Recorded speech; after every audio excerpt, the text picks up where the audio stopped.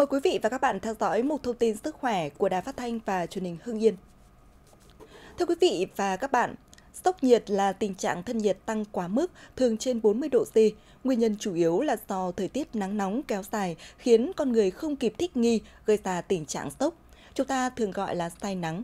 Tình trạng này nếu không được xử lý kịp thời có thể dẫn tới tử vong. Trong chương trình ngày hôm nay, xin đưa ra một số biện pháp giúp bạn tránh khỏi tình trạng này. Thông tin được đăng tải trên trang Sức khỏe và đời sống của Bộ Y tế. Hiện tượng sốc nhiệt say nắng là gì? Sốc nhiệt là tình trạng thân nhiệt tăng quá mức, thường trên 40 độ C. Nguyên nhân chủ yếu là do thời tiết nắng nóng kéo dài khiến con người không kịp thích nghi, gây ra tình trạng sốc nhiệt. Sốc nhiệt là hậu quả của quá trình tăng thân nhiệt sau một thời gian cơ thể phải hứng chịu nắng gắt kéo dài, cơ thể không kịp thích nghi, gây mất nước, làm tổn thương hệ thống kiểm soát thân nhiệt. Khi bị sốc nhiệt, cơ thể giảm khả năng thanh thải nhiệt, gây ra tình trạng mệt mỏi, đau đầu, hoa mắt, chóng mặt, nặng có thể dẫn tới tử vong. Biểu hiện khi bị sốc nhiệt Sốc nhiệt thường có triệu chứng như đau nửa đầu, khó thở, buồn nôn hoặc nôn, nóng bừng mặt. Những triệu chứng sốc nhiệt nguy hiểm có thể xuất hiện như sốt cao, chóng mặt, ngất xỉu. Nặng sẽ dẫn đến các rối loạn hệ thần kinh như mê sảng, thở nhanh, rối loạn tim mạch.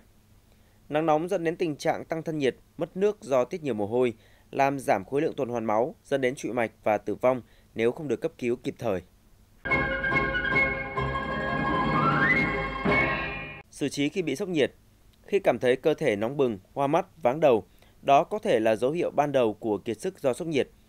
Nếu bạn đang ở ngoài trời, hãy tìm ngay một nơi dâm mát để ngồi nghỉ hoặc vào những tòa nhà có điều hòa, nới lỏng quần áo. Khi bạn hoặc một người nào đó có dấu hiệu sốc nhiệt như trên, bạn cần tìm nước, sau đó đổ lên đầu, vẩy nước lên người nạn nhân hoặc lấy khăn thấm nước phủ lên người. Người bị sốc nhiệt có thể da khô nhưng cũng có thể đổ mồ hôi đầm đìa. Những trường hợp này đều là biểu hiện muộn của sốc nhiệt. Nếu cơ thể nóng bừng và không thể đổ mồ hôi, lúc đó có thể bạn đang bị mất nước, cần làm mát cơ thể bằng nước uống hoặc trực tiếp đổ nước lên người. Người già và trẻ nhỏ là những đối tượng thích nghi kém với môi trường, vào những ngày nắng nóng không nên đi ra ngoài trời. Tránh những nơi có nhiệt độ quá cao. Dưới đây là các biện pháp có thể giúp bạn tránh khỏi tình trạng sốc nhiệt do nắng nóng. Nếu có thể, tránh đi đến những nơi có nhiệt độ quá cao. Vào những ngày nắng nóng trên 40 độ, không nên ra ngoài trời trong khoảng thời gian từ 10 giờ sáng đến 15 giờ chiều. Nên xem dự báo thời tiết trước khi lên kế hoạch cho các hoạt động ngoài trời, đặc biệt là trong mùa hè. Nếu bạn phải đi ra ngoài trong những thời điểm nắng nóng, đừng quên mang theo một chiếc mũ hoặc là một chiếc ô.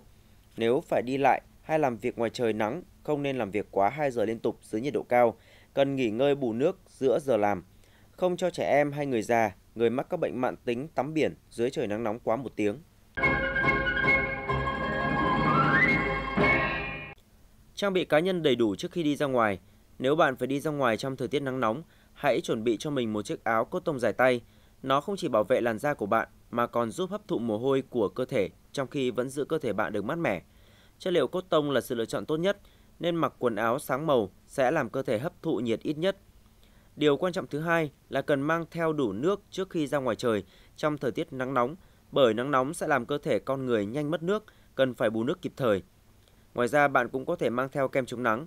Bên cạnh đó bạn đừng quên bổ sung dinh dưỡng hợp lý bằng các thực phẩm giàu protein, carbon để có sức chống chọi với nắng nóng. Nghỉ ngơi nhiều hơn, cần nhớ rằng cơ thể con người có ngưỡng chịu đựng nhiệt độ nhất định. Vào những ngày nắng nóng, tăng cường nghỉ ngơi thường xuyên hơn, không di chuyển dưới trời nắng liên tục trong thời gian dài. Hãy tìm nơi có bóng râm để nghỉ, hạn chế đến mức thấp nhất tiếp xúc trực tiếp với ánh nắng mặt trời, đặc biệt là tia UV có hại cho da và mắt. Thưa quý vị và các bạn, trong chương trình ngày mai, xin giới thiệu tới quý vị các loại nước uống giúp giải nhiệt trong mùa hè. Mời quý vị và các bạn cùng theo dõi. Một thông tin sức khỏe ngày hôm nay đến đây là hết. Xin thân ái chào tạm biệt.